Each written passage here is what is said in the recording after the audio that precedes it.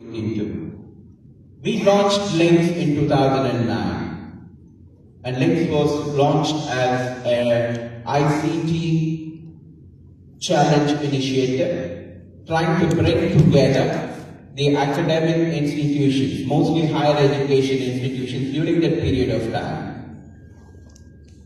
And it used to be the only academic challenge event in the country. There you will have attended various events for sporting events, but there are very few academic events and Link was one of them. Uh, I'm happy to note that we still run it for the 11th year, as explained down by Mr. Annamalai before, and we have been successfully able to do so. It's the brainchild of Botho university teachers, staff, and students. Basically started to test students'